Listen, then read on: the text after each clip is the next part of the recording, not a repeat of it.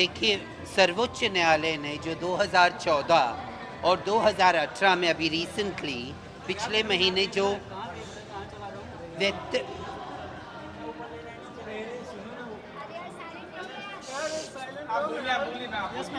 बोलिए कंटिन्यू 2014 से लेके 2018 चार साल बीत गए नालसा जजमेंट के लिए। और अभी सर्वोच्च न्यायालय ने एक बहुत सुंदर सा वर्डिक सेक्शन 377 पे दिया। मिस ट्रांस क्वीन ये दूसरी साल हो रहा है और ललित होटल्स उसके आ, साथ हॉस्पिटैलिटी में है। मतलब केशव सूरी जी जिन्होंने सेक्शन 377 की लड़ाई में भी बहुत बड़ा योगदान सर्वोच्च न्यायालय में जाके किया। ये प्लेटफॉर्म्स चाहे मिस ट्रांस क्वीन हो या अन्य और भी ये दर्शाता है कि भारत बदल रहा है।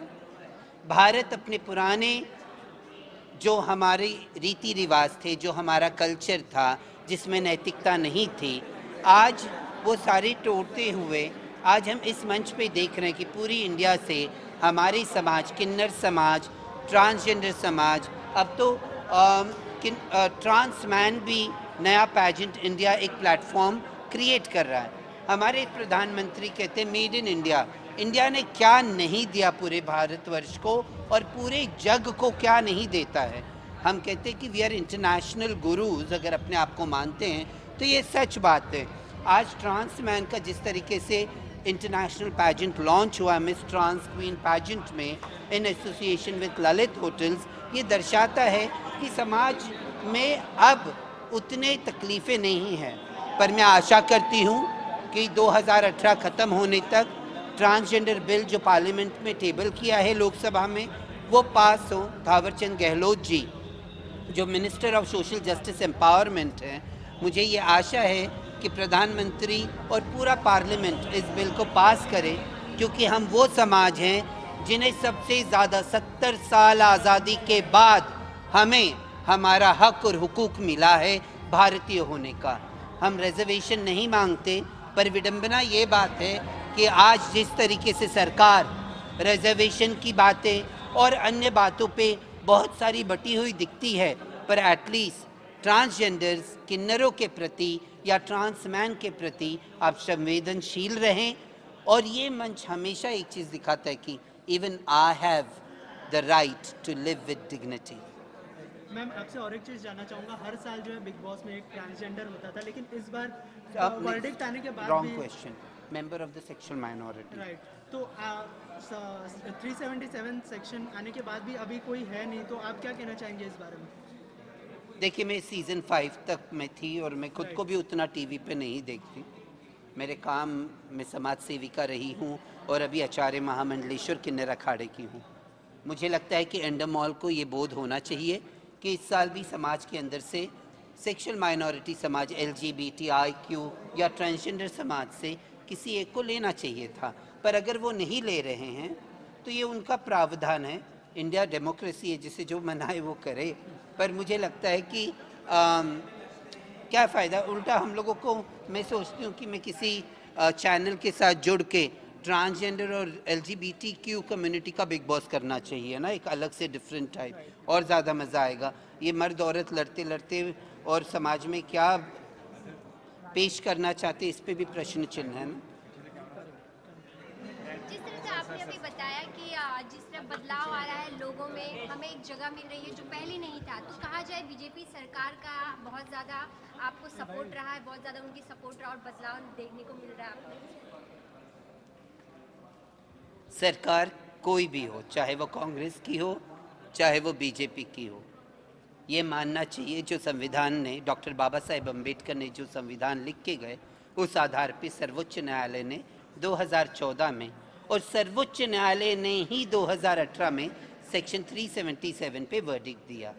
2013 में सर्वोच्च न्यायालय ने कहा था कि पार्लियामेंट डिसाइड करे सेक्शन 377 और जब पार्लियामेंट में हिम्मत नहीं थी, तब क्यूरेटिव पटिशन सुप्रीम कोर्ट ने हमारा सुना और सुप्रीम कोर्ट ने सेक्शन 377 के बारे में अपना वक्तव्य बहुत सुंदर तरीके से दिया है।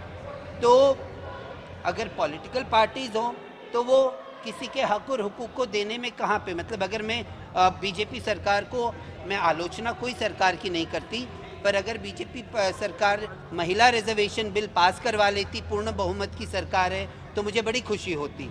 पर आज भी पिछले गवर्नमेंट से लेकर आज तक, यहाँ पे तो तकलीफ़ ये है कि उसे की सुनी जाती है कि जिसके पास अहदा और पैसा है, हम तो ठहरे फ़कीर, हमारी कौन सुनेगा? अगर सुन रहे बहुत बहुत सारे मिनिस्टर्स बहुत अच्छा काम कर रहे हैं, जो अच्छा काम करेगा, हम उसके बारे में बहुत अच्छी बातें करेंगे, और जो काम नहीं करेगा, हम उसकी आलोचना भी करेंगे, क्योंकि ये मेरा संविधानिक और भारतीय होने का अधिकार है। जैसे थावरचंद गहलोत सामाजिक न्याय मंत्री हैं। उन्होंने ट्रांसजेंडर्स पे बहुत अच्छा काम किया। तो मैं सरकार की पूर्ण रूप से आलोचना नहीं करती, पर ज़रूरी प्रश्न उठाती हूँ कि बहुत सारे प्रश्न आज भी मुश्किलों के और कटघरे में खड़े हैं। कृपया करके मोदी जी, इसे सॉल्व करें। इलेक्शंस हमारे सर पे हैं। हम चाहते हैं कि Make in India making India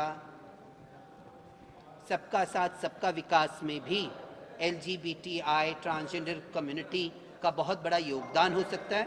हमें मौका चाहिए रिजर्वेशन नहीं। हाँ मतलब सबसे पहले तो आ, मैंने भी सुना पहली बार ही कि आ, इस तरह का पेजेंट हमारे यहाँ होता भी है हिंदुस्तान में। और आ, जब उन्होंने मुझसे बात भी की जब उन्होंने मुझसे कहा पूछा कि क्या जज करना चाहेंगे इस शो को so I no clue how will I do it पर फिर जब मैं यहाँ आया मैंने देखा इन्हें तो कोई अंतर नहीं है। जैसे दूसरे पेजेंट शोज़ होते हैं वैसे ये भी है। आपके सामने कुछ कंटेस्टेंट्स हैं जो कॉम्पीट कर रहे हैं और उन खूबसूरत हैं सभी टैलेंटेड हैं सभी और अलग अलग राउंड्स हैं जैसे हर हर पेजेंट में होता है। सो so, जो एक धारणा है हमारी कि पता नहीं ट्रांस क्वीन है तो ऐसा क्या अलग होगा कुछ अलग नहीं है जैसे सारे पेजेंट्स होते हैं ऐसे ये भी एक ब्यूटी पेजेंट है बस। आई थिंक एक बदलाव नज़र आता है, एक नई सी चीज़ें सामने आ रही हैं जब हम दिन बाई दिन देखते तो ये देखकर कितना अच्छा लगता है कि लोगों में एक सोच बदल रही है, लोगों में बदलाव आ रहे हैं। एब्सोल्युटली मतलब अगर अपने बचपन से सोचें और आज जहाँ हम खड़े हैं देखें तो we have come really really long way and I think in a good way but still miles to बहुत अभी रास्ता सफ़र तय करना बाकी है। बट एटलीस्ट uh, बहुत अच्छी बात है कि लोग जागरूक हो रहे हैं लोग एक्सेप्ट कर रहे हैं लोग uh, एक इक्वल uh, समाज जिसे हम कह सकते हैं जहाँ पे सबको इक्वल अपॉर्चुनिटी हो uh, हर चीज़ की हर तरह की। I think we are progressing towards it and I think it's a very good sign क्या क्वालिटीज़ देख रहे हैं जो कंटेस्टेंट यहाँ पर आए हैं? क्या क्वालिटीज़ आप देख रहे हैं? और जैसे मैंने पहले पूछा आपको कितना चैलेंजिंग हो रहा है आपके लिए? See for me I think the most important quality right now to see in them is that वो कितने अपने आप को लेकर कॉन्फिडेंट हैं अपनी uh, कितने सहज हैं uh, अपनी पर्सनालिटी अपनी इंडिविजुअलिटी को लेकर। और कोई प्रोजेक्शन ना हो उसमें uh, उसमें अपने आप को अपनी इंडिविजुअलिटी को अपने तरीके से जीने की क्षमता मैं देखना चाहता हूँ। सर इसके अलावा आपका कोई अपकमिंग प्रोजेक्ट है जो आप शेयर हाँ इसी तरह से इसी थीम से जुड़ी हुई एक फ़िल्म है जो हमने बनाई है। मैंने मेरी बीवी ने मिलकर और हमने लिखी है प्रोड्यूस की है और मैंने एक्ट किया है उसमें। तो उम्मीद करता हूँ कि जिस तरह से आज ट्रांसपीन हो रहा है और वहाँ पर मैं हिस्सा इसीलिए ले भी रहा हूँ क्योंकि वो फ़िल्म करते हुए बहुत चीज़ें समझ में आई, बहुत सारी चीज़ें जानी। क्योंकि वो प्रोसेस बड़ा ग्रूलिंग था और आपको एक अलग तरह का पॉइंट ऑफ़ व्यू समझ में आया चीज़ों को लेकर। और हमने कोशिश भी यही की कि हम चीज़ों को अलग तरीके से, उनके नज़रिए से दुनिया को दिखाने की कोशिश की हमने फ़िल्म में। फ़िल्म का नाम खिचड़ी है और फ़िलहाल अभी जर्मनी में फेस्टिवल होता है होमोको उसकी ओपनिंग फ़िल्म है। सो लेट्स कोशिश तो है कि अपने फ़िल्म को लेकर और जितने हम हैं ये जागरूकता जो जिस तरह से फैल रही है उसे और फैलाने की कोशिश करें। तो कब तक फ़िल्म लोगों के बीच में आने का प्लान है? कब तक आ सकती है?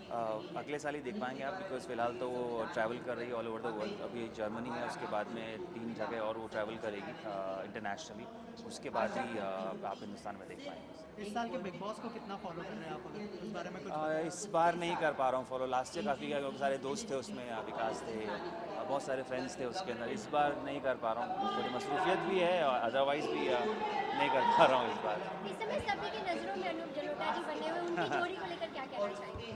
जी क्या कहना है सहज है। बहुत उसमें हम एक बार बार एक्सेप्टेंस की बात करते हैं। हम यहाँ पे खड़े इसी प्लेटफॉर्म पे हैं कि हम हर तरह की एक्सेप्टेंस रखें और हर तरह के समाज में एक सबको जगह हो अपने आप को एक्सप्रेस करने की अब प्रेम को एक्सप्रेस करने के लिए उम्र में तो नहीं बांधा जा सकता। अब, मैं तो दुआ करता हूँ विश करता हूँ उन्हें ऑल द बेस्ट और हमने बचपन से उनके गाने सुने। And I wish that he keep singing love songs all is life thank you so much क्या है? ट्रांजिशन के मेरी लाइफ में एज सच ट्रांजिशन का कुछ ऐसा ट्रांजिशन ही हुआ क्योंकि मैंने स्टार्टिंग से ही मैं लड़कों की तरह रह रहा था। और जब मैं 18 इयर्स का हुआ 18 लीगल एज है तब मैंने अपना मेडिकल ट्रांजिशन स्टार्ट कर दिया था।